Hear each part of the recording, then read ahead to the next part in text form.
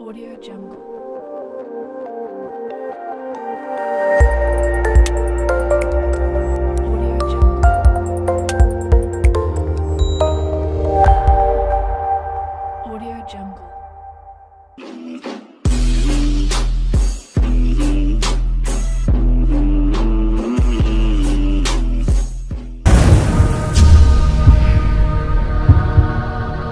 Hello my dear students and friends मैं धर्मेंद्र कुमार आपका स्वागत करता हूँ आपके अपने YouTube channel H D campus Agra पर। आज हम एसएससी सीजीएल प्री में 2020 में पूछे गए कुछ क्वेश्चन डिस्कस करने वाले हैं।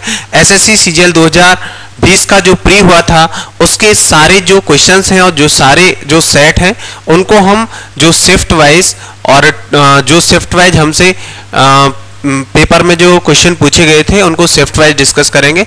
तो आज हम डिस्कस करेंगे एसएससी सीजीएल प्री 2020 के जो तीन तारीख में पहली शिफ्ट में क्वेश्चन पूछे गए थे 10 से 11 वाली में। तो आज उन क्वेश्चनों को डिस्कस करेंगे, फिर बारी बारी से सारे सेट्स हम डिस्कस करेंगे। तो देखेंगे प्यारे विद्यार्थियों, आज का जो है आपका पहला सेट। पहले सेट का पहला क्वेश्चन देखेंगे। फ़र्स्ट क्वेश्चन देखेंगे और क्वेश्चन को देखेंगे, समझेंगे और करने की कोशिश करेंगे। ये प्रैक्टिस सेशन है आपका, इसमें सीजीएल के 2020 के प्री के क्वेश्चनों को हम डिस्कस करने जा रहे हैं। तो इसलिए यहाँ पर जो चीज़ें हैं थोड़ी सी प्रैक्टिस के हिसाब से ही रहेंगी। थोड़ा सा ज़्यादा धीमी नहीं चलूँगा मैं, बस चीज़ों को समझते चले, करते चले भाई, देखो। और मैं उम्मीद करता हूँ वही विद्यार्थी जो इस प्रैक्टिस सेशन को देखे, जिन्होंने मैथ्स का जो सारा टॉपिक है या सारा सिलेबस है, वो कवर कर लिया है। अभी मैंने यूट्यूब पे पूरा सिलेबस नहीं करा पाया हूँ, लेकिन जिन विद्यार्थियों ने कहीं से भी जो सिलेबस कवर कर लिया है, वो इस प्रैक्टिस सेशन को ज़रूर दिखे। ये आपके सीजीएल प्री के लिए बहुत यूजफुल रहेगा। तो देखेंगे प्यारे विद्यार्थियों, यदि संख्या, एक नंबर दिया है, यदि संख्या 1005x4 ये जो x है, ये संख्या का ही एक डिजिट है। 8 से पूरी तरह विभाज्य है तो x के स्थान पर सबसे छोटा पूर्णांक क्या होगा? देखो, हम सारे क्वेश्चनों को एग्ज़ाम में जब हम क्वेश्चनों को सॉल्व करते हैं तो वहाँ पर हमें ज़्यादा स्पेस की ज़रूरत नहीं पड़नी चाहिए। क्वेश्चन जल्दी से जल्दी फास्ट से फास्ट होना चाहिए और उसके लिए हम वहाँ पर बहुत सारे तरीके अप्लाई करते हैं। तो यहाँ पर देखो इफ़ द नंबर नंबर दिया है ये आपका 1005x4 is completely divisible by 8 उसने इसकी एक प्रॉपर्टी दी है कि ये जो नंबर है, ये आठ से पूरी तरह से विभाज्य होता है। तो उसने कहा था smallest integer in place of X X के स्थान पर छोटे से छोटा इंटीजर क्या आ सकता है? उसने कहा है, x के स्थान पर सबसे छोटा पूर्णांक क्या होगा? तो देखो क्वेश्चन को कैसे सॉल्व करेंगे। पहले हम नंबर को लिख लेंगे तो नंबर दिया है हमें। पहले हम नंबर को लिख लेंगे तो नंबर दिया है हमें one zero zero five X four यहाँ पे जो x है, इस नंबर का एक डिजिट है। और इसको डिवाइड कर रहे हैं एट से। तो उसने पूछा है एक्स के स्थान पर क्या आएगा? तो एट से डिविजिबिलिटी का प्यारे विद्यार्थी एक रूल होता है मैं सारी चीज़ें आपको बताते चब, आ, बताते चलूँगा। Divisible by 8 divisible by eight कोई नंबर एट से कब विभाजित होगा?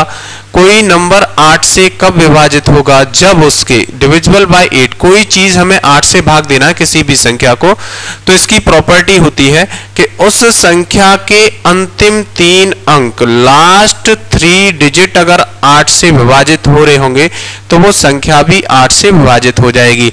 ऐसे ही डिविजिबल बाय टू ये डिविजिबिलिटी के रूल हैं, इनको ध्यान रखें। डिविजिबल बाय 2 2 की प्रॉपर्टी के लिए अगर हमें ये देखना है कि कोई संख्या दो से विभाजित होगी कि नहीं होगी तो उसके लिए बस लास्ट डिजिट को लास्ट डिजिट को आप दो से भाग देखेंगे। लास्ट डिविज को दो से भाग करके देखेंगे। अगर लास्ट डिजिट उस संख्या का दो से भाग जा रहा होगा तो वो संख्या भी दो से विभाजित हो जाएगी। ऐसे ही किसी संख्या को हमें मान के चलो डिविजिबल बाय फोर ये देखना है कि ये चार से विभाजित है कि नहीं। तो उसके लिए लास्ट टू डिजिट को देखेंगे कि इस संख्या के जो अंतिम दो अंक है, वो चार से भाग हो रहे हैं कि नहीं हो रहे। अगर किसी संख्या के अंतिम दो अंक चार से भाग हो रहे होंगे तो वो संख्या भी चार से भाग हो जाएगी। ऐसे ही डिविजिबल बाय एट ऐसे ही एट की प्रॉपर्टी है एट की प्रॉपर्टी के लिए संख्या के लास्ट थ्री डिजिट को देखते हैं।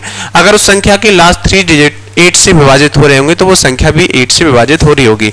ऐसे ही मान के चलो, आठ के बाद 16 है, ऐसे ही 32 है मतलब दो की पावर में जो भी संख्या हो, उसके लिए आपको ये देखना है, दो पर पावर कितनी लगी है। जैसे ये दो की पावर एक थी तो इसका मतलब अंतिम एक अंक को देखेंगे।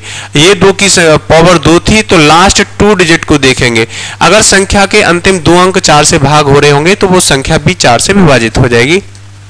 ऐसे ही एट जो है, वो दो पे पावर तीन होता है तो ऊपर तीन। तीन का मतलब लास्ट थ्री डिजिट अगर किसी संख्या के अंतिम तीन अंक आठ से विभाजित हो रहे होंगे तो वो संख्या भी आठ से विभाजित होगी। ऐसे ही सार सिक्सटीन के लिए लास्ट चार डिजिट देखेंगे, उसी प्रकार 32 के लिए लास्ट फाइव डिजिट देखेंगे। ऐसे ही आगे आगे तक ये संख्या ऐसे ही चलती चली जाएगी। टू पे पावर एन के लिए लास्ट एंड डिजिट देखेंगे। लास्ट एंड डिजिट अगर किसी संख्या के विभाजित हो रहे होंगे तो वो संख्या भी एन से भाग हो जाएगी। तो ये नियम है भाई, मैंने आपको पहले पूरा नियम समझा दिया, सारी चीज़ें समझा दी। अब देखो इस क्वेश्चन को सॉल्व करने के लिए चलते हैं। तो हमने पता है कि ये संख्या आठ से डिविजिबल है, उसने कहा है कि पूरी तरह से आठ से विभाजित है। तो इसका मतलब हमें ये देखना है कि अंतिम तीन अंक आठ से विभाजित होने चाहिए तो संख्या भी आठ से विभाजित होगी। तो उसने कहा है एक्स के स्थान पर सबसे छोटा पूर्णांक क्या होगा? तो यहाँ पर, यहाँ पर फिर हमें क्या करना है कि इससे हमें कोई मतलब नहीं है, केवल इसको देखना है। तो पहले ज़ीरो रख के देखते हैं। तो ज़ीरो रख के देखेंगे तो 504 बटे एट देखो आठ से विभाजित है कि नहीं? तो आठ छिंग अड़तालीस और आठ तीस चौबीस। इसका मतलब ये वाली संख्या इससे 63 टाइम्स कैंसिल हो रही है। इसका मतलब विभाजित हो रही है। तो जो ए है, इस क्वेश्चन का आंसर हो जाएगा।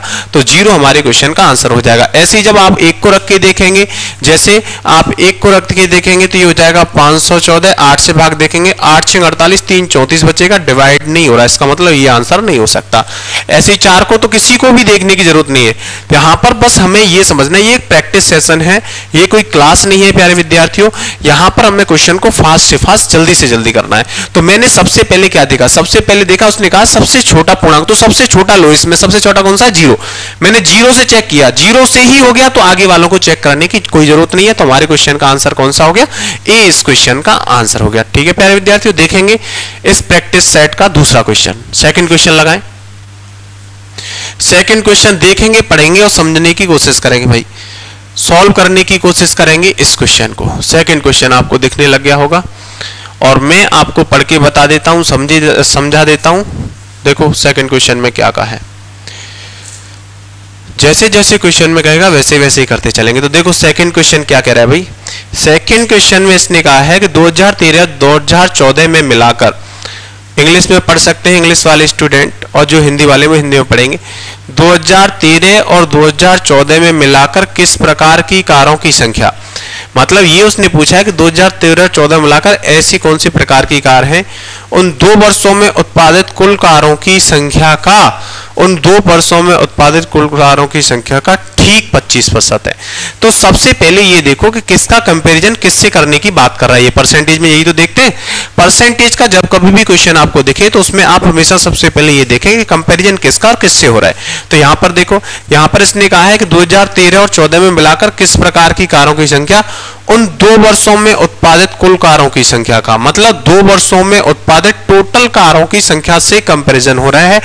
उन कुल कारों की संख्या का ठीक 25 प्रतिशत है, ये हमसे पूछा तो पहले ये देखो कि 2013 और 14 में सबसे पहले हमें ये देखना है कि सन 2013 में और 2014 में कुल कितनी कारों का उत्पादन हुआ, ठीक है?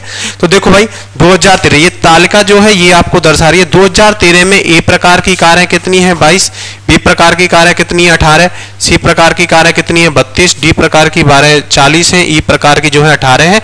और टोटल कारों का उत्पादन हुआ है 130 का। ये तो 2013 की कहानी है। ऐसी 2014 में ए प्रकार की कारें बत्तीस इनसे कोई मतलब नहीं है। 2014 में कितनी कारों का उत्पादन हुआ है? 170 कारों का उत्पादन। बस आपको यही देखना है। 2013 में कुल 130 कारों का उत्पादन हुआ है। और उनमें से मैंने आपको अलग अलग भी बता दिया कि एक प्रकार की कार कितनी ऐसे देखो 2014 में ए प्रकार की बत्तीस कारों का उत्पादन हुआ है, बी प्रकार की कारों का उत्पादन कितना हुआ है, सी प्रकार की कारों का उत्पादन कितना हुआ है, डी प्रकार की कारों का उत्पादन कितना हुआ है, ई प्रकार की कारों का उत्पादन कितना हुआ है, और 2014 में कुल उत्पादन कितने कारों का हुआ है 170 का, ये वाली चीज़ है, ठीक है? अब उसके बाद पहले तो हमें ये निकालना है कि 2013 और 14 में कुल कितनी कारों का उत्पादन हुआ है? तो भाई बताइए कितनी कारों का उत्पादन हुआ है?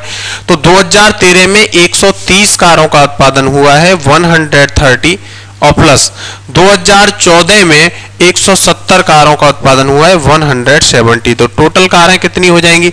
130 और 170 इसका मतलब 2013 और 14 में कुल 300 कारों का उत्पादन हुआ है। लेकिन उसने हमसे पूछा है, उन दो वर्षों में उत्पादित कुल कारों का 25 प्रतिशत हो तेरह और चौदह में मिलाकर ऐसी कार कौन सी है? तो 25 परसेंट। तो कुल कुल कारें कितनी है? 30 300 तो इसका 25 परसेंट कैसे निकालेंगे? एक बटे चार तो एक बटे चार कितना हो जाएगा? इसका मतलब हमें पिचहत्तर कारें इसका मतलब पिचहत्तर कारें पिचहत्तर कारें 2013 और 14 में मिलाकर जिस प्रकार की कारों से होंगी, वही हमारा आंसर है। ठीक है? तो देखो तेरह चौदह में मिलाकर ए प्रकार की कारों का उत्पादन कितना है? चौवन है, ये नहीं हो सकता। ऐसे बी प्रकार की कारों में देखो आठ और तीन ग्यारह, ये भी नहीं हो सकता। पीछे पाँच आना चाहिए, ये भी नहीं हो सकता। इसका मतलब डी प्रकार की कारों में देखो आप। डी प्रकार की कारों को देखिए भाई ध्यान से। डी प्रकार की कारें देखो, तेरह में है चालीस और चौदह में है पैंतीस। और चालीस और पैंतीस कितना हो गया? पिछहत्तर इसका मतलब डी प्रकार की कारों का उत्पादन हुआ है तो आंसर हो जाएगा हमारा सी, जिसका आंसर हो जाएगा डी प्रकार की कारें। तो देखो, क्वेश्चन में जो कहा था, मैंने वही किया है। 2013-14 में मिलाकर किस प्रकार की कारों की संख्या, उन दो वर्षों में उत्पादन कुल कारों की संख्या का 25 परसेंट है। तो सबसे तो पहले 2013-14 में जो कारें हैं, उनका मैंने 25 परसेंट मान निकाल लिया तो कितना हो गया पिछहत्तर इसका मतलब अब हमें ऐसी कारें देखनी है, जो 2013-14 में जोड़ने पर पिछहत्तर आए, बस सीधी सी बात है तो डी का आ रहा है, चालीस और प्लस पैंतीस पिछहत्तर यही क्वेश्चन का आंसर हो गया सी। चलेंगे नेक्स्ट क्वेश्चन पर। देखेंगे, तीसरा क्वेश्चन लगाएँगे जरा। देखेंगे बेटा, इस प्री के सेट का आप तीसरा क्वेश्चन प्रीवियस ईयर में आया हुआ पूरा डिट तो सेट है, मैंने कुछ भी चेंज इस सेट में नहीं किया है और मैं ये सेट बस इसलिए लेके आया हूँ जिससे आपको ये पता लगे कि एग्ज़ाम में आखिर आता क्या है और हमें क्या पढ़ना है। आपको ये जो मैं सेट लेके आया हूँ, वो इसलिए लेके आया हूँ जिससे आप इसको देखें और इसमें जो मैं क्वेश्चन करा रहा हूँ, उनको समझें कि कौन सा जो भाग है मैथमेटिक्स का, उसमें से कितने क्वेश्चन आते हैं, इन चीज़ों को समझें। और जो मैं आपको करा रहा हूँ, उनमें से यहाँ क्वेश्चन आपको मिल रहे हैं कि नहीं मिल रहे तो देखेंगे तीसरा क्वेश्चन प्यारे विद्यार्थियों। ये टिग्नोमेट्री का क्वेश्चन है टिग्नो का क्वेश्चन है, देखेंगे इसको। यदि x बराबर, यहाँ पर हमें वैल्यूज़ दी है, x का मान दिया है four cos A plus five sine A Y का मान दिया है four sine A minus five cos B और X square plus Y square पूछा है। तो इस प्रकार का, देखो, यहाँ पर मैं आपको बता देता हूँ, x की वैल्यू उसने हमें बराबर दी है फोर कॉस ए और प्लस फाइव साइन ए बाल बात को बिल्कुल ध्यान से समझना भाई। ऐसी वाई की वैल्यू जो उसने हमें दी है, वो उसने दी है हमें फोर साइन ए और माइनस फाइव कॉस ए यहाँ पर मैं बस आपको क्वेश्चन सॉल्व करने का तरीका बता दूँगा। सारी चीज़ें डिटेल में हम डिस्कस करेंगे जब टेक्नोमेट्री पढ़ेंगे टॉपिक तब। तो जब कभी भी देखो, जब कभी भी यहाँ पर, जैसे ये फोर है, ये फोर है फाइव है फाइव है, और ये वाला जो कॉस है, इसका मल्टीप्लाई इधर जाके हो जाए और साइन ए का मल्टीप्लाई इधर रिवर्स मल्टीप्लाई हो जाए। जैसे कॉस ए यहाँ चार का मल्टीपल है तो यहाँ कॉस ए पाँच का मल्टीपल होगा। साइन ए यहाँ पाँच का मल्टीपल है तो यहाँ जो है साइन ए चार का मल्टीपल होगा। और ये जो साइन अगर प्लस होगा तो ये माइनस होगा, ये अपोजिट साइन होंगे। तो इस केस में एक्स स्क्र और प्लस वाई स्क्र का जो मान होता है X square plus Y square की जो वैल्यू होती है, वो बराबर होती है four square plus five square आगे वाले डिस्टों का स्क्र करके जोड़ने देना है। ये फोर का स्क्र और प्लस फाइव का स्क्र तो यहाँ से करेंगे तो चार का स्क्र हो जाएगा सोलह।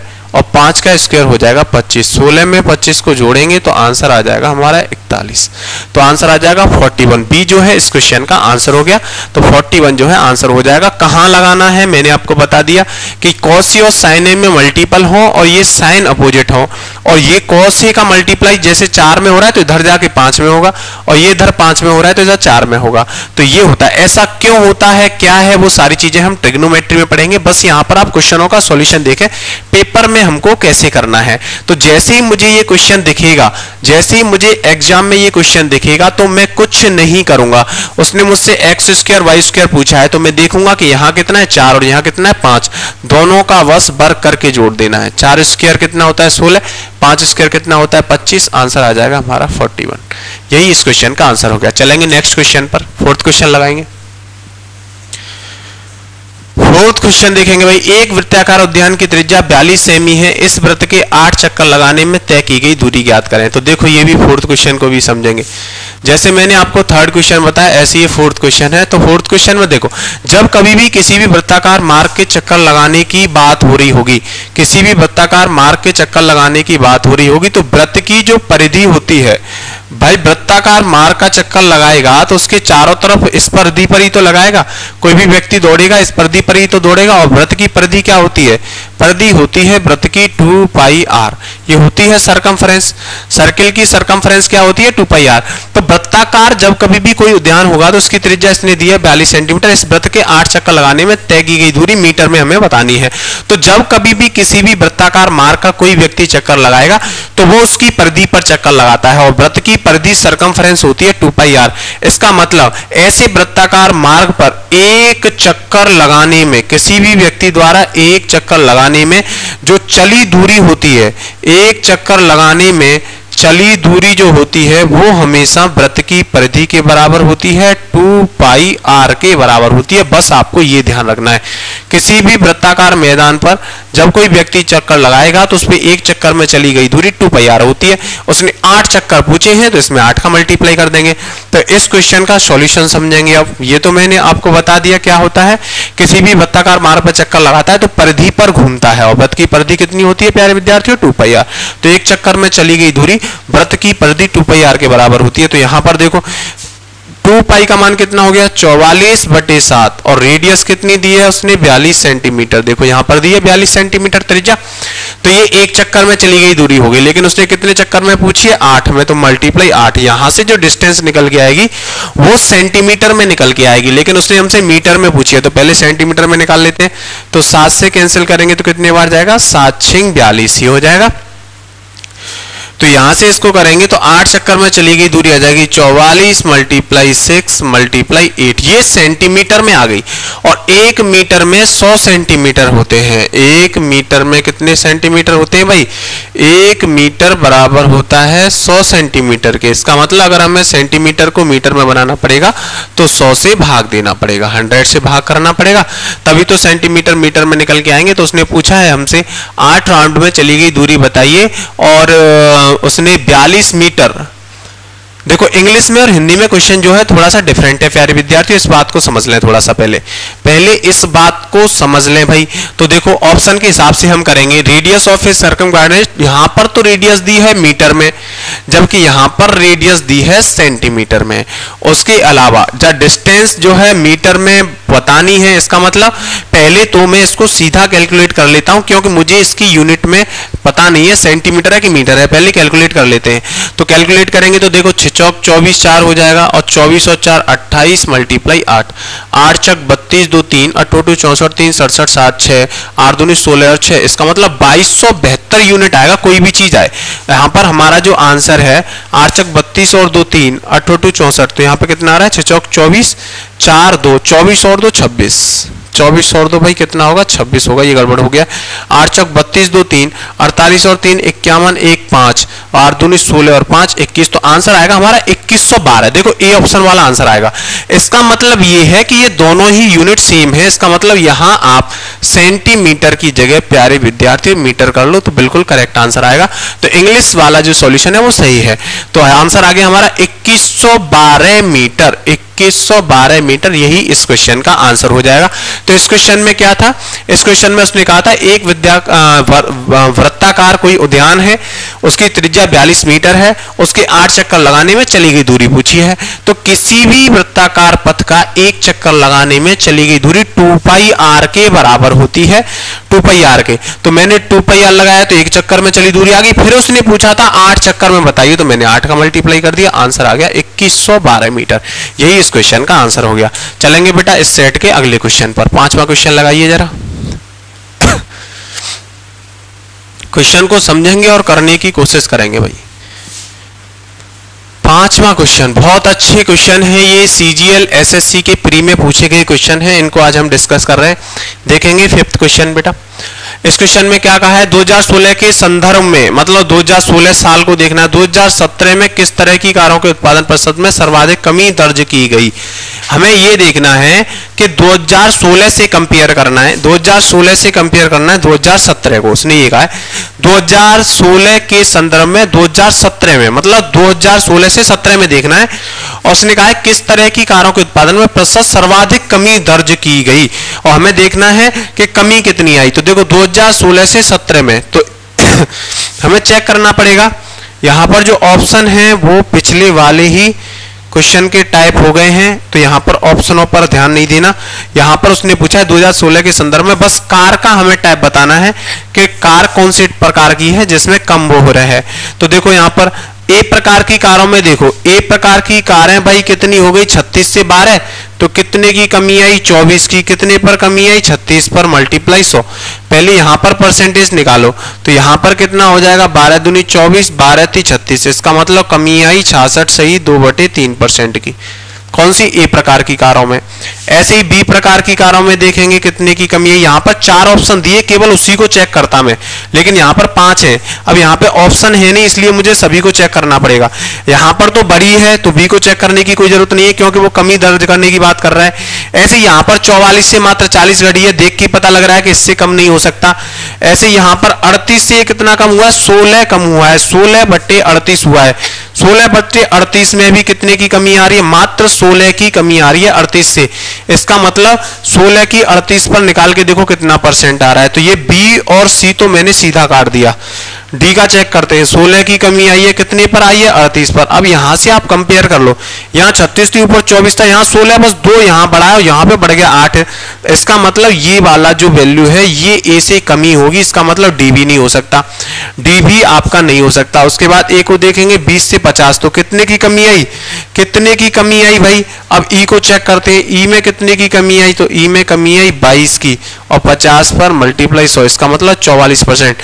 इसका मतलब ई में भी 44 परसेंट कमी आई है, इसका मतलब सबसे ज़्यादा कमी किसमें आई है? ए प्रकार की कारों में। तो ए प्रकार की कारों में छियासठ से दो बटे तीन परसेंट तो इस क्वेश्चन का आंसर हो जाएगा। ए प्रकार की कार जिस ऑप्शन पर दिया होगा, वो तो यहाँ पे ऑप्शन नहीं दिए। बस मैंने क्वेश्चन को आपको कन्विंस करके समझा दिया है। तो आंसर आ जाएगा बेटा ए चलेंगे आज की क्लास के नेक्स्ट क्वेश्चन पर। तो देखो क्वेश्चन को देखेंगे, समझेंगे, करने की कोशिश करेंगे। थोड़ी सी टाइपिस्टों से गलती हो जाती है ऑप्शन किसी क्वेश्चन का किसी में डाल दिया है, कोई दिक्कत नहीं। लेकिन हमें बस क्वेश्चन की जो लैंग्वेज है और क्वेश्चन है, वो समझ में आना चाहिए। वो हमें समझ में आ गया अच्छे से। देखो सिक्स क्वेश्चन देखो बेटा, पढ़ो और करने की कोशिश करो छठवें छठवें क्वेश्चन को देखते हैं। ये जो है S S C C G L दो हज़ार बीस के प्री के पहले ही सेट में आए हुए क्वेश्चन है। देखो, यदि एक्स वाई जेड तीन ऐसे पूर्णांक है कि एक्स प्लस वाई बराबर एट तीन पूर्णांक दिए हैं। तीन पूर्णांक दिए हैं, जिसमें x प्लस वाई बराबर दिया है एट के। ऐसे ही y प्लस जेड दोनों का जो दिया है, वो बराबर दिया है तेरह के। ऐसे ही z प्लस एक्स बराबर दिया है सत्रह के। और हमसे पूछा है कि x square upon y square का मान क्या होगा? मतलब एक्स वाई की वैल्यू कैसे भी पता लग जाए। तो अगर मैं इन तीनों इक्वेशनों को आपस में ऐड कर दू, देखो बहुत आसान क्वेश्चन है, कुछ नहीं है। तीनों को ऐड करेंगे तो एक्स और x 2x हो जाएगा वाई बाई टू वाई हो जाएगा जेड जेड टू इसका मतलब ये हो जाएगा two x plus y plus z यही तो हो जाएगा। और यहाँ जोड़ेंगे तो सत्रह और तेरह कितना हो गया? तीस तीस और आठ कितना हो गया? अड़तीस। तो यहाँ से x plus y plus z कितना आ गया? उन्नीस। हमें क्या निकालना है? X और y इसका मतलब x plus y plus z में से क्या घटाएँ कि x का मान आ जाए? तो अगर मैं इसमें से y और z को हटा दूँ तो x का मान आ जाएगा कि नहीं आ जाएगा? तो y प्लस जेड कितना है भाई? 13 तो 19 में से 13 को घटाएँगे तो x का मान हो जाएगा 19 minus thirteen equal to six ऐसे ही हमें y का मान निकालना है। तो x plus y plus z में से क्या घटाएँ कि y आ जाए? तो y का मान निकालेंगे तो x प्लस जेड को घटा दें। X प्लस जेड कितना है? सत्रह। तो अगर मैं y का मान निकालूँगा तो 19 में से माइनस कर दूँगा सत्रह तो भाई का मान कितना आ जाएगा? दो। अब हमने x square upon y square बताना है तो एक्स स्क्र कितना हो गया? छत्तीस। वाई स्क्र कितना हो गया? चार। तो आंसर कितना आ गया भाई? नौ। नौ इस क्वेश्चन का हमारा आंसर हो गया। हमें x square upon y square उसने पूछा था, आठ, तेरह, सत्रह सब दिए हैं। नौ तो भाई ऑप्शन में ही नहीं है। X plus y plus z निकाल लिया हमने। सत्रह, तेरह, तीस और आठ, अड़तीस, सही है। X प्लस वाई जेड उन्नीस आ गया। Y प्लस जेड को घटाएँगे मतलब तेरह को घटाएँगे, छह तो x का मान आ जाएगा। ऐसे ही यहाँ पर हम x plus y plus z में से एक्स का वाई का मान निकालना है तो इसको हटाएँगे सत्तर को तो वाई का मान आ जाएगा दो। हमें बताना है x square upon y square तो छह का स्क्र छत्तीस बटे चार आंसर नौ ही आएगा। ये भाई किसी और क्वेश्चन के टाइप हो गए हैं, इसमें करेक्शन कर लेना डी ऑप्शन पर नौ कर लेना, यही इस क्वेश्चन का आंसर हो जाएगा, ठीक है? डी ऑप्शन पर नौ कर लेना भाई, ये किसी और क्वेश्चन के टाइप हो गए हैं, शायद आंसर गलती से, ठीक है? चलते हैं, देख लेते हैं एक बार इंग्लिश में। हाँ सही है, कुछ नहीं, बिल्कुल सही है, बिल्कुल सही है आंसर इसका नाइन आएगा, ठीक है? चलते हैं आज के इस प्रैक्टिस सेट के नेक्स्ट क्वेश्चन पर। देखो बेटा सेवेंथ क्वेश्चन समझेंगे। सेवेंथ क्वेश्चन देखेंगे, समझेंगे, करने की कोशिश करेंगे। ऑप्शनों में गलतियाँ हो जाती हैं टाइप इससे देखो सेवेंथ क्वेश्चन को, इसमें क्या कहा है? एबीसी में एम एन जो है बीसी के पैरेलल है। और ए एन और एन सी का रेशियो दिया है four ratio five four ratio five. तो उसने कहा है एम ए एन का क्षेत्रफल बताइए, यदि एम बी सी एन। मतलब हमें ये वाला क्षेत्रफल उसने पूछा है, ए एम एन का, एम ए एन का क्षेत्रफल हमें पूछा है, और हमें ये वाला क्षेत्रफल उसने दिया है। ठीक है? ये वाला क्षेत्रफल हमें दिया है। तो देखो, जब ये दोनों आपस में पैरेलल होती हैं तो उस केस में क्या होता है? उस केस में ये वाला जो एंगल है, वो इस वाले एंगल के बराबर होगा। ऐसे ही ये वाला जो एंगल है, वो इस वाले एंगल के बराबर होगा और ये एंगल हो जाता है कॉमन तो यहाँ से ये जो ऊपर वाला ट्रेंगल है triangle A M N triangle A M N similar हो जाता है ट्रेंगल ए बी सी मतलब टोटल ट्रेंगल की। यहाँ पर ये सिमिलर हो जाते हैं दो ट्रेंगल कौन कौन सा? A M N A B C दोनों आपस में सिमिलर हो जाएँगे। सिमिलर के केस में क्या होता है कि सिमिलर में जो ट्रेंगल है, उनकी भुजाओं का जो रेशियो होता है और उनके क्षेत्रफलों का जो रेशियो होता है तो दोनों ट्रेंगलों के क्षेत्रफलों का अनुपात मतलब area one upon area two बराबर होता है साइडों के स्क्वायर के।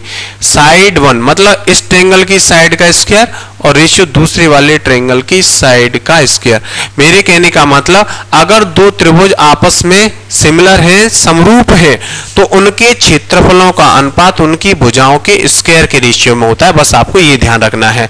तो यहाँ पर देखो, त्रिभुज एबीसी दोनों समरूप हैं। इसका मतलब इनके क्षेत्रफलों का अगर मैं अनुपात निकालूँगा, अगर ये वाला सेवंथ क्वेश्चन है, इनके क्षेत्रफलों का अनुपात निकालूँगा मतलब area of triangle A M N इसका area upon area of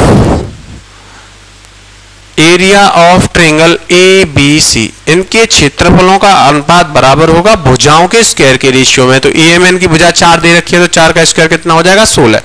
और ए बी सी की भुजा कितनी दे रखी है? चार और पाँच, नौ। नौ का स्क्वायर कितना हो जाएगा? इक्यासी। तो इक्यासी तो इस टोटल ट्रेंगल के क्षेत्रफल का रेशियो होगा। सोलह जो है, इस ऊपर वाले क्षेत्रफल का रेशियो होगा। ए एम एन का मात्र सोलह होगा। टोटल इक्यासी है तो बताइए नीचे वाला जो चतुर्भुज है, इसका क्षेत्रफल क्या होगा? ये बताइए। एम एन बी सी का रेशियो में क्षेत्रफल क्या होगा? तो रेशियो में निकालेंगे तो टोटल यहाँ से लेके यहाँ तक कितना है? इक्यासी। टोटल जो है इक्यासी है, उसके अलावा ऊपर वाला 16 है तो अगर मैं इक्यासी में से 16 को घटा दूँ तो नीचे वाला क्षेत्रफल आ जाएगा। तो 11 में से 6 गया तो 5 और 7 में से पैंसठ आ गया नीचे वाला क्षेत्रफल। अब आपको क्या दिया? ये देखो, हमें उसने दिया है एमबीसीएन का क्षेत्रफल मतलब पैंसठ रेशियो का मान बराबर दिया है 130 तो एक रेशियो का मान कितना हो गया? दो।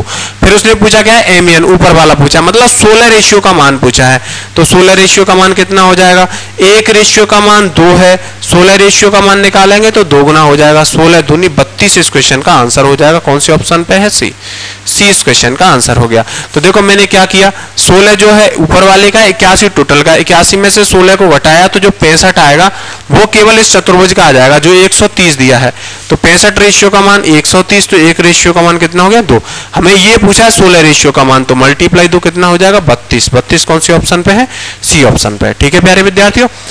ऐसे कर लेते क्वेश्चनों को तो देखेंगे। आज के इस प्रैक्टिस सेट का एट क्वेश्चन लगाइए। क्वेश्चन को पढ़ेंगे, समझेंगे, करने की कोशिश करेंगे।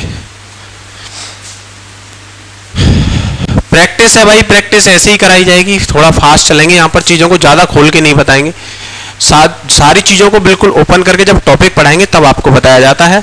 यहाँ पर आपको चीज़ों को ऐसे ही समझना देखो ए बी सी अलग अलग एक कार्य को चौबीस पंद्रह, यहाँ पर तीन व्यक्ति हैं ए बी सी एक 24 दिन में करता है, दूसरा 15 में, और तीसरा बारह दिन में करता है भाई। ये बारह दिन है प्यारे विद्यार्थियों। जब कभी भी किसी क्वेश्चन की, देखो एग्ज़ाम में भी ऐसा हो जाता है, यहाँ नहीं एग्ज़ाम में भी कभी कभी क्वेश्चन में गलतियाँ हो जाती हैं। ये तो खैर टाइपिस्ट की एरर है।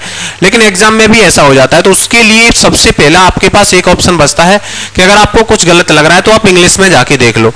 अगर उसमें भी गलत है और उसमें भी गलत है, फिर उसका कोई सॉल्यूशन नहीं है, फिर तो उसका सॉल्यूशन रिज़ल्ट आने के बाद ही होगा। लेकिन अगर हिंदी में क्वेश्चन जो है, आपका थोड़ा सा गलत हो गया मान के चलो और इंग्लिश में सही है तो आपको उसका मार्क्स एग्ज़ाम में नहीं मिलेगा। अगर आपने हिंदी के हिसाब से सॉल्व कर दिया है तो। क्यों? क्योंकि प्रेफरेंस हमेशा इंग्लिश को दी जाती है।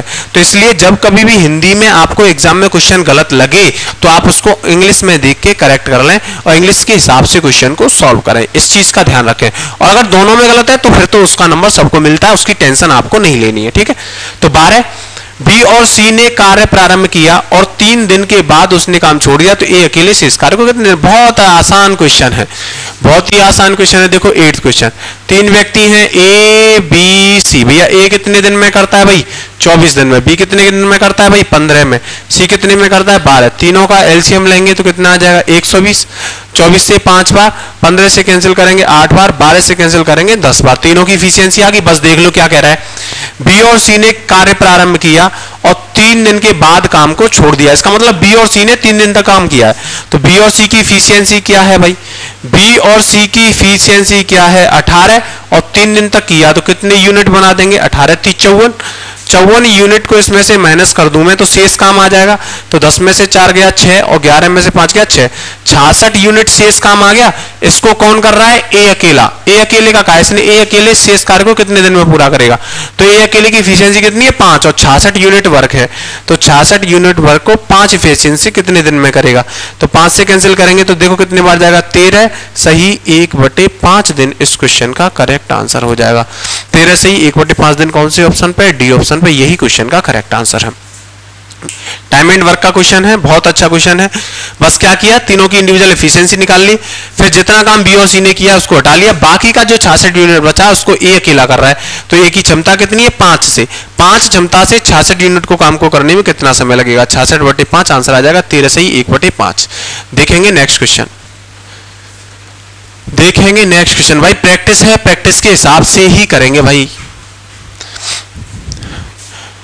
ये जो क्लास है, इसमें मैंने ये जो प्रैक्टिस करा रहा हूँ उन स्टूडेंटों के लिए करा रहा हूँ, जिनका सिलेबस कंप्लीट है। केवल उन्हें जो है प्रैक्टिस करनी है, उनके लिए है ये प्रैक्टिस जिनका सिलेबस कंप्लीट नहीं है, वो पहले अपना सिलेबस कंप्लीट करो, तब ये प्रैक्टिस सेशन देखो। देखो नाइन्थ क्वेश्चन नाइन्थ क्वेश्चन देखेंगे भाई। एक्स माइनस वाई बराबर चार। एक्स माइनस वाई बराबर दिया है चार। X वाई बराबर दिया है पैंतालीस। और उसने हमसे पूछा है, बताइए x cube minus y cube का मान क्या होगा? ठीक है? तो देखो, कुछ नहीं। X और y के ऐसे फैक्टर करो जिसमें x और y का अंतर चार हो बस। तो x और y के फैक्टर कर लेता हूँ मैं। नौ पंजे पैंतालीस कर लिए। तो देखो, नौ और पाँच का अंतर चार है कि नहीं? तो इसका मतलब x की वैल्यू कितनी आ गई? नौ। और y की वैल्यू कितनी आ गई? पाँच। अब उसने पूछा x cube minus y cube तो इसका मतलब नौ का क्यू और माइनस फाइव का क्यू तो नौ का क्यू कितना होता है? सात सौ उनतीस। पाँच का क्यू कितना होता है? 125 नौ में से पाँच गया चार, और दो में से दो गया ज़ीरो 604 इस क्वेश्चन का आंसर हो गया। तो देखो कौन से ऑप्शन पे दिया? ए ऑप्शन यही इस क्वेश्चन का करेक्ट आंसर हो गया। हमने क्या किया? जो x इंटू वाई दिया, उसके ऐसे फैक्टर किए, जिन दोनों का अंतर चार हो। उसने कहा है कि x माइनस वाई कितना है? चार। इसका मतलब एक्स और वाई के मान के बीच में चार का अंतर होगा, और एक्स और वाई का अंत मल्टीप्लाई पैंतालीस होगा। तो हमने ऐसे फैक्टर करने हैं जिनका अंतर जो है वो चार हो, और मल्टीप्लाई पैंतालीस हो। तो मुझे पता लगा नौ पंजे पैंतालीस ऐसे फैक्टर होते हैं। इतनी तो कॉमन सेंस भाई आपके अंदर होनी चाहिए तो आंसर आ जाएगा 604 देखेंगे नेक्स्ट क्वेश्चन टेंथ क्वेश्चन देखेंगे। एसएससी सीजीएल प्री में पूछे गए, बिल्कुल डिट्टो क्वेश्चन है, मैंने नंबर तक चेंज नहीं किया भाई। देखो टेंथ क्वेश्चन को समझे और करने की कोशिश करें। देखो a person sells an article at ten percent below its cost price मतलब एक व्यक्ति एक आर्टिकल को कॉस्ट प्राइस से 10 प्रतिशत कम पर बेचता है। तो इसका मतलब 10 प्रतिशत कम का फ्रैक्शन कितना बनेगा भाई? 9 बटे दस। किससे? कॉस्ट प्राइस से। कॉस्ट प्राइस से, और ऊपर कितना आ जाएगा? सेलिंग प्राइस ठीक है? Had he sold it for 332 more यदि इसने इसे 332 रुपए अधिक पर बेचा होता तो उसे 20 प्रतिशत का लाभ होता। उसे 20 परसेंट का लाभ होता। इसका मतलब प्लस 20 परसेंट तो बनाएँगे फ्रैक्शन कितना हो जाएगा? छह बटे पाँच। छह बटे पाँच, इसका मतलब ये भी कॉस्ट प्राइस हो जाएगा, और ये दूसरा वाला सेलिंग प्राइस हो जाएगा। बात को बिल्कुल ध्यान से समझना। लेकिन कॉस्ट प्राइस किसी भी आर्टिकल का अलग नहीं होता, समान होना चाहिए। तो समान करने के लिए इधर में दो का मल्टीप्लाई कर दूँगा तो मुझे यहाँ भी दो का मल्टीप्लाई करना पड़ेगा। तो पहले वाला एस पी इतना था नो तो what is the original selling price of the article तो ये तीन क्या दिया है? If he had sold it for 332 more मतलब अगर इसने इसे तीन रुपए अधिक पर बेचा होता तो पहले कितने में बेच रहा था? नौ में। अब कितने में बेच रहा है? बारह में तो कितने रुपए अधिक पर बेच रहा है? तीन। इस तीन रेशियो की वैल्यू उसने बराबर दी है 332 के। फिर उसने पूछा है तो बताइए what is the original selling price of the article मतलब आर्टिकल का वास्तविक सेलिंग प्राइस पूछा है मतलब नौ रेशियो का मान पूछा है तो तीन रेशियो का मान जो है तीन सौ बत्तीस है तो नौ रेशियो के मान के लिए कितना करना पड़ेगा? तीन गुना करना पड़ेगा तो मल्टीप्लाई तीन तीन दूनी छह, तीन तरह का नौ, तीन तरह का नौ नौ सौ छियानवे मतलब ए जो है, इस क्वेश्चन का करेक्ट आंसर हो जाएगा। तो ए ऑप्शन जो है, इस क्वेश्चन का करेक्ट आंसर हो जाएगा। ओरिजिनल सेलिंग प्राइस का मतलब है, प्रारंभिक सेलिंग प्राइस हमसे पूछा है। और उसके अलावा आप इस क्वेश्चन को कैसे कर सकते हो, ऐसे भी कर सकते हो। पहले टेन जो है लॉस पर बेच रहा था, अब बीस परसेंट हानि तो हानि और लाभ दोनों जोड़ देंगे तो बीस और तीस परसेंट का मान। उसने हमें बराबर दिया है तीन सौ बत्तीस के। ठीक है? उसके बाद 30 पर 10 परसेंट बिलो पर बेच रहा था। तो पहला वाला सेलिंग प्राइस पूछा है तो 10 परसेंट कम पर बेच रहा होगा तो इसका मतलब 90 परसेंट पर बेच रहा होगा। तो 90 परसेंट का मान निकालेंगे तो कितना का मल्टीप्लाई करना पड़ेगा? तीन का। तो तीन का मल्टीप्लाई यहाँ भी करना पड़ेगा। आंसर कितना हो जाएगा? तीन बस, चाहे आप ऐसे कर लो, चाहे जैसे आपका मन करे, वैसे कर लो भाई। क्वेश्चन को आंसर नौ सौ छानवे ही आएगा। ठीक है? चलते हैं आज की क्लास के नेक्स्ट क्वेश्चन पर। अगर आपका कंसेप्ट सही है और क्वेश्चन को करने का तरीका सही है तो आप किस भी तरीके से कर लो आंसर अलग नहीं आएँगे। देखो, एक बेलन, यदि दो बेलनों के आधार की त्रिज्याओं का अनुपात तीन, अनुपात चार है, ऊंचाइयों का अनुपात इनका है तो उनके आयतनों का अनुपात बताइए। बहुत ही आसान क्वेश्चन है, इससे आसान क्वेश्चन कुछ नहीं हो सकता। आधार की त्रिज्याओं का अनुपात कितना दिया है भाई? तीन अनुपात, चार। तो सबसे पहले सबसे पहले तो हमें इसने आयतनों का अनुपात पूछा है तो हमें यह पता होना चाहिए कि बेलन का आयतन क्या होता है। तो volume of cylinder volume of cylinder का आयतन होता है पाई आर स्क्र एच। मैं आपको बता चुका हूँ कि कांस्टेंट मान का रेशियो में और परसेंटेज में कोई भी प्रभाव नहीं पड़ता मतलब आर स्क्र एच। मतलब अगर हमें आयतन में परिवर्तन बताना है तो आर का तो स्क्वायर करेंगे और एच का मल्टीप्लाई करेंगे। तो आर का स्क्वायर मतलब आर कितना है? तीन अनुपात चार तो स्क्वायर करेंगे तो तीन का स्क्वायर नौ, चार का स्क्वायर सोलह। और एच कितना है? चार अनुपात नौ तो एच हो जाएगा फोर रेशियो नाइन मल्टीप्लाई कर देंगे, नौ से नौ कैंसिल हो जाएगा, चार से चार बार। तो तो आयतनों का अनुपात आ जाएगा एक अनुपात चार। एक अनुपात चार कौन सी ऑप्शन पे? बीस क्वेश्चन का करेक्ट आंसर हो जाएगा। क्या करना है? फॉर्मूले में आर स्क्र एच है तो आर का स्क्वायर करना है और मल्टीप्लाई एच करना है। तो आर का स्क्वायर किया मैंने तो नौ सोलह हो गया और मल्टीप्लाई एच किया चार नौ। दोनों लाइनों में कॉमन कट जाता है। आयतन का रेशियो आ जाएगा वन फोर। परसेंटेज में ये क्वेश्चन मैं आपको करा चुका हूँ यूट्यूब पे भी पढ़ा चुका हूँ। इसलिए ये क्वेश्चन तो बहुत ही आसान होना चाहिए आपके लिए ठीक है? तो देखेंगे।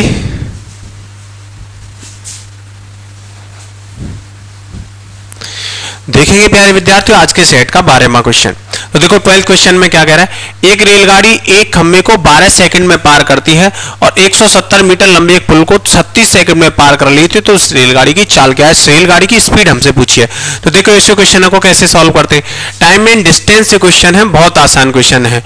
एक रेलगाड़ी एक खंभे को मतलब एक पोल को पार करने में रेलगाड़ी को 12 सेकंड का समय लगता है। बिल्कुल बात को ध्यान से समझना। और एक 170 मीटर मीटर लंबे पुल को पार करने में मतलब एक ब्रिज को पार कर रही है और और ब्रिज को पार करने में उसको जो समय लग रहा है, वो लग रहा है उसको 36 सेकंड का समय। ये है। तो देखो, जब रेलगाड़ी एक पोल को पार करेगी तो पोल की खुद की लंबाई तो कुछ होती नहीं है। इसका मतलब पोल को पार करने में रेलगाड़ी अपनी लंबाई के बराबर दूरी चलेगी। और जब रेलगाड़ी ब्रिज को पार करेगी तो अपनी लंबाई के बराबर दूरी को तो चलेगी ही चलेगी। उसके अलावा ब्रिज की लंबाई के बराबर मतलब 170 मीटर दूरी और उसे चलनी पड़ेगी। जो ब्रिज की लंबाई दी 170 मीटर, इसको और चलना पड़ेगा।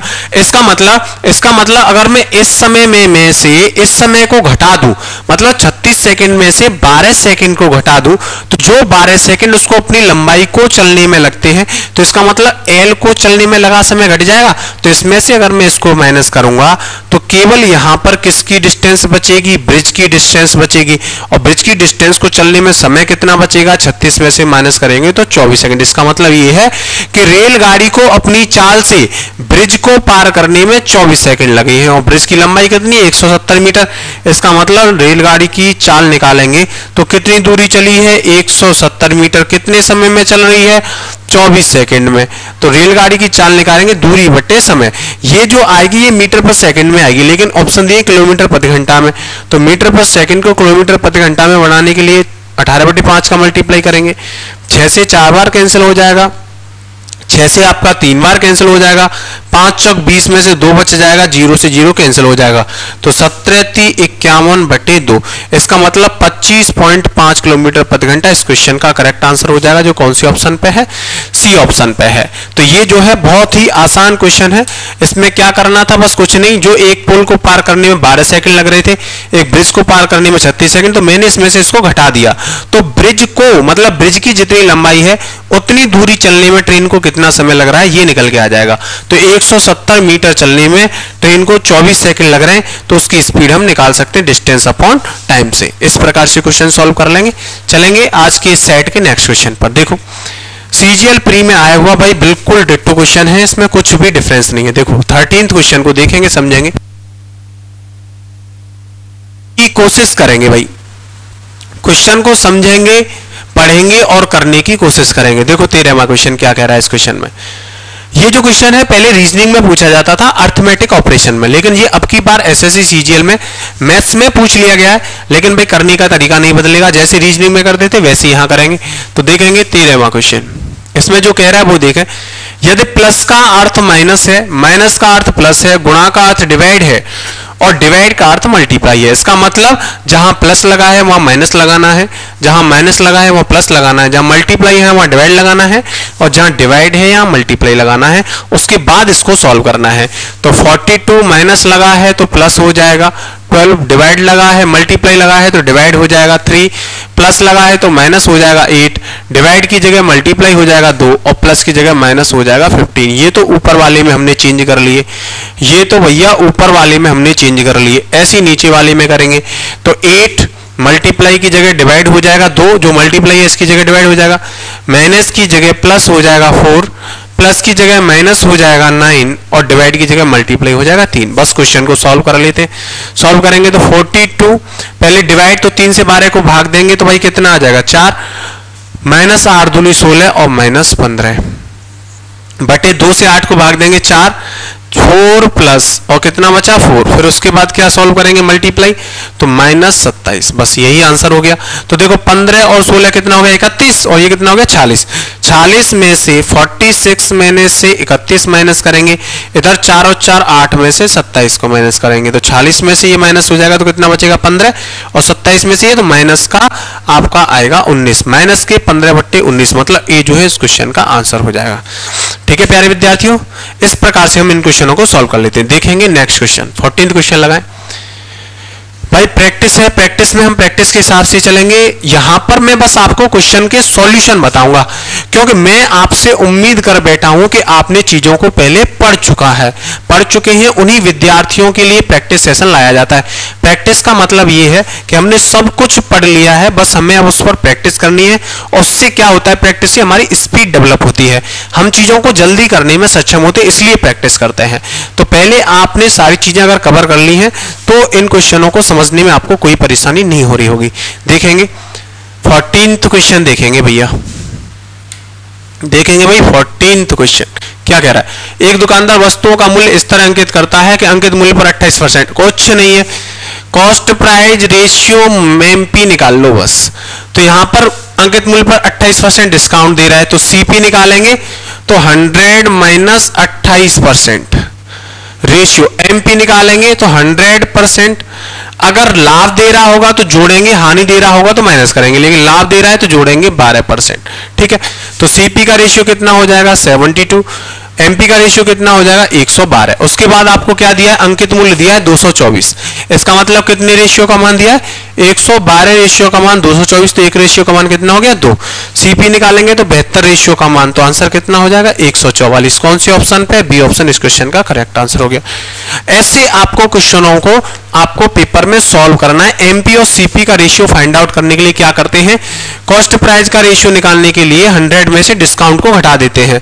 एमपी का रेशियो निकालने के लिए अगर लाभ होगा तो जोड़ देते हैं, हानि होगी तो माइनस तो एमपी सीपी का रेशियो आ जाता है। इनमें से आपको दोनों में से कोई एक चीज़ देकर दूसरी पूछेगा। तो यहाँ पर हमें एमपी दिया था।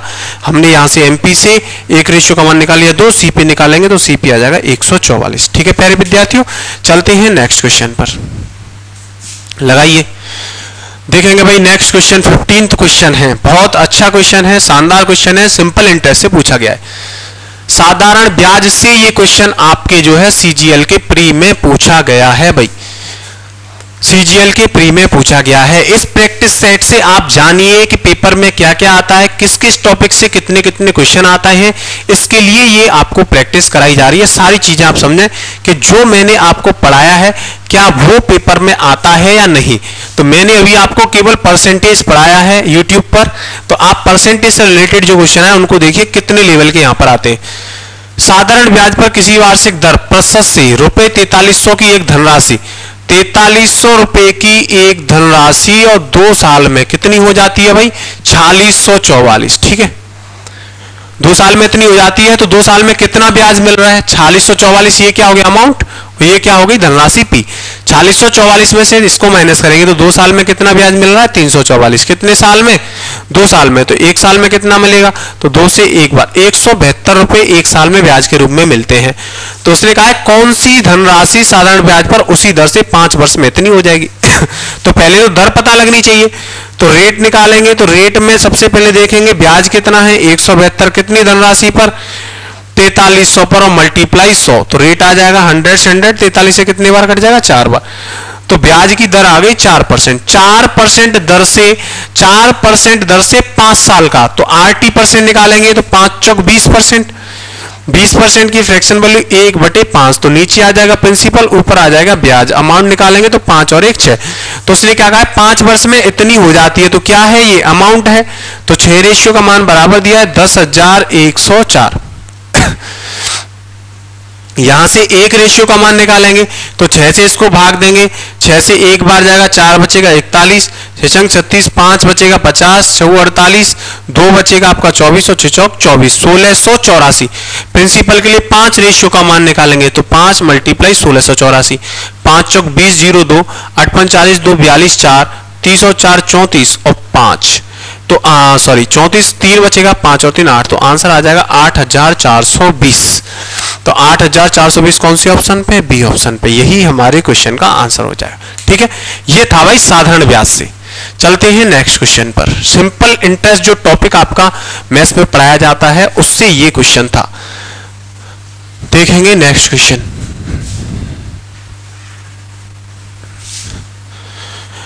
सोलहवा क्वेश्चन देखो, छह संख्या में से प्रथम पाँच संख्याओं का योग छठी संख्या का सात गुना है। सात गुने का मतलब अगर छठी संख्या एक है सिक्स नंबर अगर एक है तो पहली पाँच संख्याओं का जोड़ कितना होगा भाई? सात होगा। फिर उसके बाद क्या कह रहा है? उन संख्याओं का औसत 136 है। तो इसका मतलब सभी संख्याओं का जोड़ कितना हो जाएगा? आठ रेशियो औसत निकालेंगे तो संख्याओं की संख्या से भाग दे देंगे। ये वैल्यू कितने के बराबर है? 136 के। आठ से कैंसिल करेंगे, सत्रह अट्ठे, एक सौ छत्तीस, सत्रह बार जाएगा। तो एक रेशियो का मान कितना आ गया? सत्रह छिंगे, एक सौ दो। एक रेशियो का मान ही छठा नंबर है और उसने यही पूछा छठी संख्या कितनी होगी? तो बी जो है, इस क्वेश्चन का आंसर हो गया वन ज़ीरो टू कुछ नहीं था, कितना आसान क्वेश्चन था, बताओ। और इसमें तो बच्चे मरे जाते हैं सर सीजीएल सीजीएल क्या है? जोड़ घटाओ, आ रहे हैं और आप सीजीएल के लिए मरे जा रहे हो। देखो क्वेश्चन नेक्स्ट कुछ नहीं है। देखो।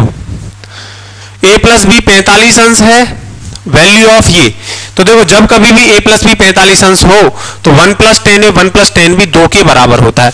Two multiply two equal to four इस क्वेश्चन का आंसर हो गया। कितना आसान क्वेश्चन है? ए सेकंड भी नहीं लगना। हटा दो क्वेश्चन को। चलते हैं नेक्स्ट प्री का बिल्कुल डिट्टो सेट है भाई। मैंने कुछ भी चेंज नहीं किया इस इस सेट में। देखो अठारहवा क्वेश्चन किसी आयत की लंबाई 40 प्रतिशत तक बढ़ा दी जाती है और चौड़ाई 20 प्रतिशत घटा दी जाती है। क्षेत्रफल में परिवर्तन बताइए। सारे क्वेश्चन बताए हैं। आप पीछे वीडियो उठा के देख लो। इनिशियल फाइनल वाले टाइप में सारे क्वेश्चन कराए होंगे। देखो, आयत की लंबाई को 40 प्रतिशत से बढ़ाया जाता है। तो 40 प्रतिशत की फ्रैक्शन वैल्यू कितनी होती है? दो बटे पाँच। तो इसका मतलब पहली लंबाई जो पाँच होगी, वो बढ़कर कितनी हो जाएगी? सात। चौड़ाई को 20 परसेंट से घटाया जाता है। 20 परसेंट की फ्रैक्शन वैल्यू कितनी होती है? एक बटे पाँच। तो जो चौड़ाई पहले पाँच होगी, वो घटकर कितनी रह जाएगी? चार।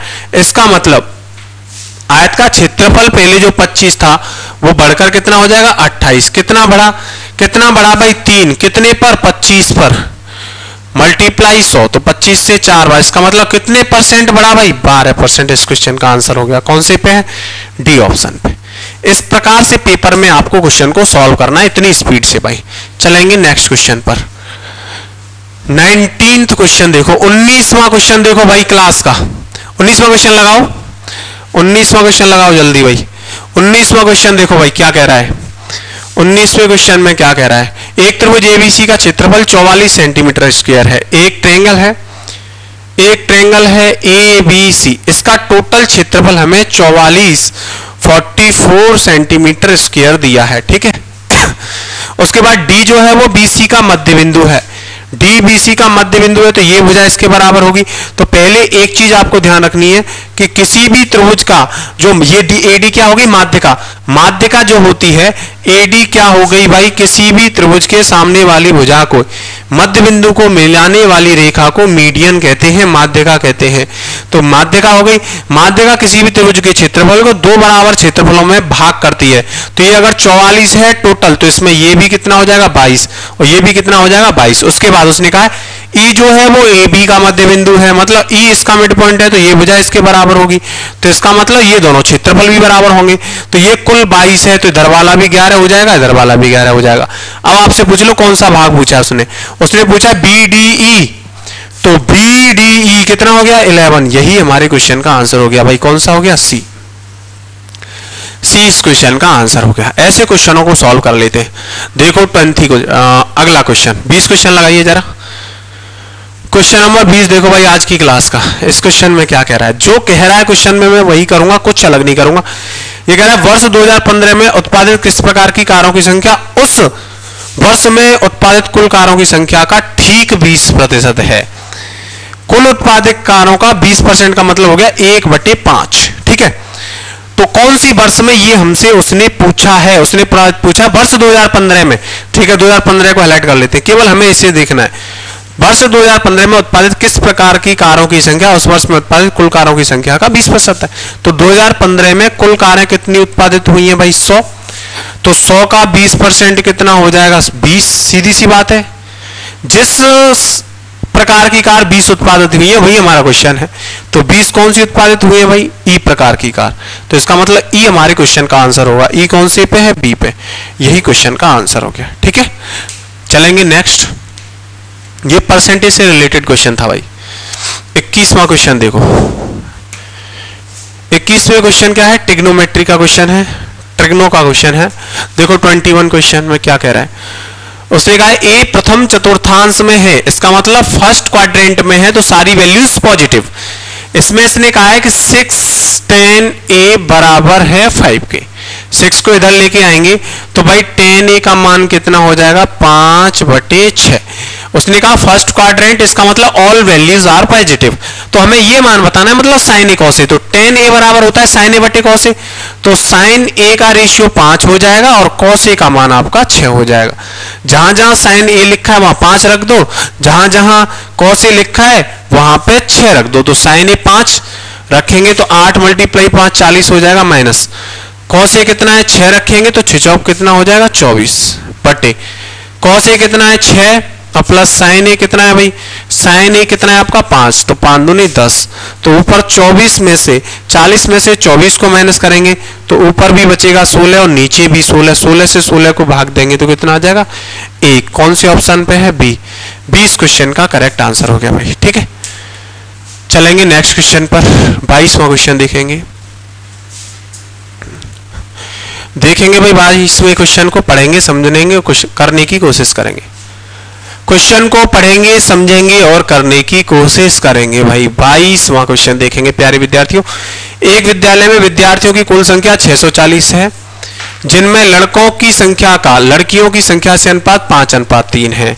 यदि विद्यालय में तीस लड़कियों का नामांकन किया जाता है तो विद्यालय में कितने लड़कों का नामांकन होना चाहिए कि ताकि लड़कों की संख्या और लड़कियों की संख्या का अनुपात, चौदह अनुपात नौ हो जाए? बहुत ही आसान क्वेश्चन है भाई।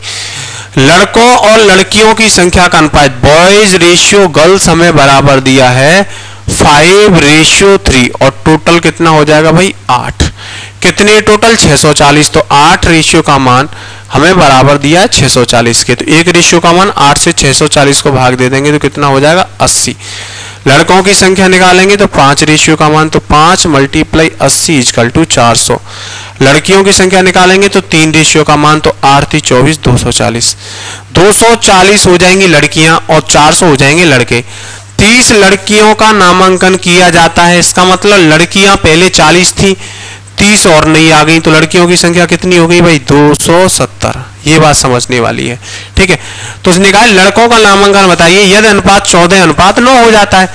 तो बाद में रेशियो कितना हो गया भाई? 14 रेशियो नाइन। तो नौ रेशियो का मान कितना है? 270 तो एक रेशियो का मान कितना हो गया? 30 नौ तीस सत्ताईस। तो लड़कों की संख्या का मान निकालेंगे तो चौदह ती बयालीस, चार सौ बीस। लड़कों की संख्या कितनी हुई? चार सौ बीस। और पहले कितनी थी? चार सौ। तो कितने नामांकन हो गए बताओ? तो बीस लड़के बढ़ गए। इसका मतलब बीस नामांकन।